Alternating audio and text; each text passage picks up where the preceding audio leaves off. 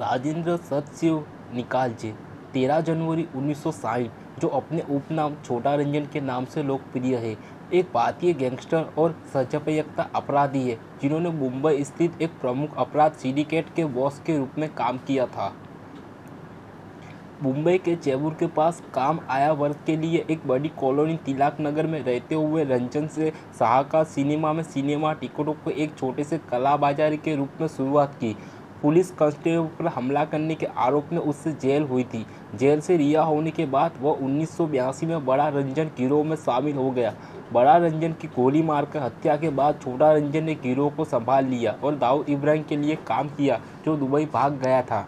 अरुण गवाली के दौरान रंजन उन्नीस में दुबई भाग गया और अंततः उन्नीस में उससे अलग होने और एक स्वतंत्रता गिरोह बनाने से पहले दाऊद इब्राहिम का दाइना हाथ बन गया। जो अक्सर राउत डी कंपनी के साथ टकराव करता था, वह कई आपराधिक मामलों के वंचित है, जिसमें जबरान वसूली, हत्या, तस्करी और मदक पदार्थों की तस्करी शामिल है। वह सत्तर के मामलों में और कई हत्या के प्रयासों के मामलों में भी वंचित है। ऐसा कहा जाता है कि रंजन शहीदी कीड़ा मंडल नामक एक सामाजिक संगठन को वित्तपोषित करता है, जो तिलक नगर में गणेश उत्सव का आयोजन करता है, जो राजन गृह आधार है। रंजन की पत्नी और दो बेटियाँ तिलक नगर में रहती है। रंजन को 25 अक्टूबर 2015 को इंडियन नेशनल पुलिस ने बाली में गिरफ़्तार किया था। रंजन को 27 साल की फरारी के बाद 6 नवंबर 2015 को बाली से भारत प्रत्यर्पित किया गया था और वर्तमान में वह हिलसात में चले रहे मामलों की सुनवाई का इंतज़ार कर रहा है। 2 मई 2018 को उन्हें पत्रकार की हत्या कर दोषी ठहराया गया और आजीवन कारावास की सजा दी गई। छोटा रंजन का जन्म बॉम्बे के चैबूर के तिलक नगर इलाके में एक परिवार में हुआ था। उन्होंने अपने शुरुआती दिनों में सिनेमा टिकट विक्रेता के रूप में काम किया। उन्होंने अपने आपराधिक करियर की शुरुआत चैबूर में छोटे मोटे अपराध करके की। उनके गुरु बड़ा रंजन उन्हें उन्हें 1980 के दशक में शाह का सिनेमा अशोक थिएटर में सिनेमा टिकटों की कालाबाजारी से परिचित कराया। उनके गुरु हैदराबाद के बड़े रंजन यादगिरी थे, जिनके अधीन उन्होंने व्यापार के गुण सीखे। एक बार जब बड़ा रंजन मर गया तो निकल जी के रंगदर्दी पर और छोटा रंजन की उपाधि मिली। थोड़े समय के लिए दाऊद इब्राहिम, रंजन और अरुण गवाली के एक साथ काम किया। फिर गवाली के बड़े भाई पाप गवाली की ड्रग डील को लेकर हत्या कर दी गई और दरार पड़ गई। बन गए उनकी पत्नी के अलावा उनका परिवार अभी भी यहाँ है। वह कभी वापस नहीं लौटा। उन्नीस के बॉम्बे बम विस्फोट के बाद इब्राहिम और रंजन के बीच मतभेद हो गए। इसी खबर के अनुसार इब्राहिम ने नेटवर्क के बारे में रिसर्च एंड एनालिसिस वीक को जानकारी दी थी। इब्राहिम रंजन पार्टी खत्म हो चुकी थी और इसका खराब अंत रंजन पार्टी खत्म हो चुकी थी और इसका खराब अंत सितंबर 2000 में हुआ, जब छोटा शकील ने रंजन पर उसके बैंकॉक होटल के कमरे में हमला किया।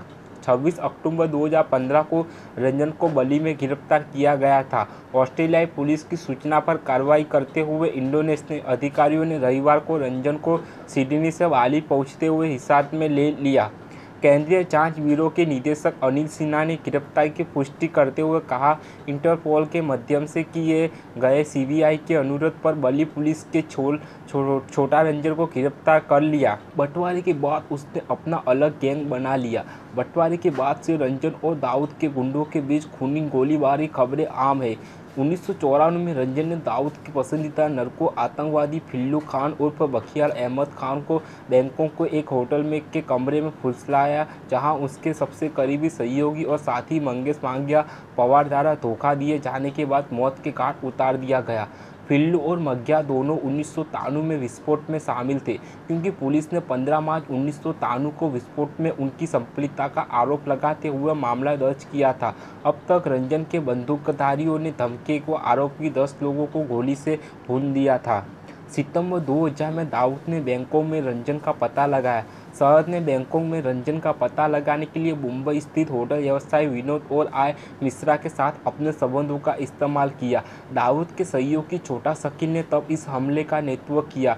खुद को पिज्जा डिलीवरी मैन बताकर उन्होंने रंजन के भरोसेमंद हिटमैन रोहित वर्मा और उनकी पत्नी को गोली मार दी। हालाँकि रंजन को मारने का उनका आदर्श विफल रहा। रंजन होटल की छत और आग से बचकर भाग गया। फिर वह एक अस्पताल में ठीक हो गया और पकड़ से बचने के लिए भाग गया। दाऊद इब्राहिम ने रेड एफ़ कॉम को टेलीफोन पर हमले की पुष्टि करते हुए कहा कि रंजन ने पहली मंजिल के कमरे की खिड़की से कूदकर भागने की कोशिश की, जहाँ उस पर हमला किया गया था। हालाँकि गिरने से उनकी कमर टूट गई और उन्हें अस्पताल ले जाया गया। हत्या का यह अस्पष्ट प्रयास दाऊद के लिए महँगा साबित हुआ। रंजन के सहयोगी ने 2001 में मुंबई विनोद का पता लगाया और गोली मारकर हत्या कर दी। साथ ही दाऊद ने एक अन्य सहयोगी सुनील सोन्स की भी हत्या कर दी। विनोद और सुनील दोनों ने दाऊद से सहयोगियों का रंजन ठिकाने की जानकारी दी थी।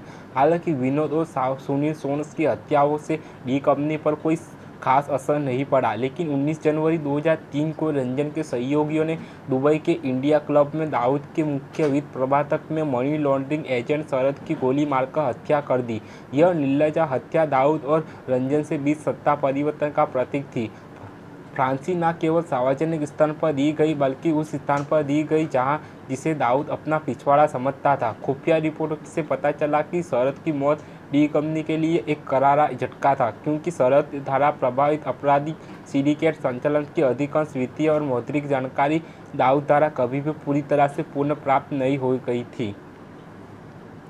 रंजन की शादी सुजाता निकला से हुई। दंपति की तीन बेटियाँ हैं, अंकिता निकलेजा, निकिता निकलेजा और खुशी निकलेजा उनके छोटे भाई दीपक निकलेजा संसद रामदास अठवाले की रिपब्लिकन पार्टी ऑफ़ इंडिया से जुड़े हैं। रंजन के दोस्त और सकामी नाना कहकर बुलाते थे, उनके समूह को नाना कंपनी के नाम से भी जाना जाता था। 2002 की बॉलीवुड फ़िल्म कंपनी में अपनी अभिनेता विवेक ओबरॉय द्वारा निभाया गया किरदार चंदू था, जो वास्तविक जीवन के दाऊद इब्राहिम गिरोह के साथ छोटा रंजन जैसा दिखता था। इसके अलावा उन्नीस में संजय दत्त अभिनीत फ़िल्म वास्तव द रियलिटी रंजन के जीवन पर आधारित थी। ओ टी शुक्ला बम्बई मेरी जान में भी छोटा रंजन की भूमिका प्रकाशित की गई है। 25 अक्टूबर 2015 को रंजन को इंडोनेशिया की बली में पकड़ लिया गया, जहाँ भारतीय अधिकारियों ने उसे वापस भारत भेजने के लिए इंटरपोल में संपर्क किया। यह गिरफ्तारी ऑस्ट्रेलियाई पुलिस की एक गुप्त सूचना के कारण हुई, जिसमें कहा गया था कि रंजन ने मोहन कुमार नाम के भारतीय पासपोर्ट के साथ बली की यात्रा की थी। सीबीआई सूत्रों के अनुसार अंडरवर्ल्ड डॉन हवाई अड्डे पर एक कतार में खड़ा था, जब अवजन अधिकारियों ने उसे एक तरह हटने से और अपना नाम बताने के लिए कहा। इस पर गैंगस्टर ने पहले अपना मूल नाम राजेंद्र सदशिव निकलेजे बताया और फिर तुरंत खुद को सही करते हुए कहा, मोहन कुमार जो उसके पासपोर्ट पर उल्लेखनीय नाम है, उससे अधिकारी सतर्क हो गए और उन्होंने उससे पूछताछ शुरू कर दी। इसके बाद अधिकारियों ने फिंगरप्रिंट परीक्षण की मदद से पहचाना की प्रक्रिया शुरू की।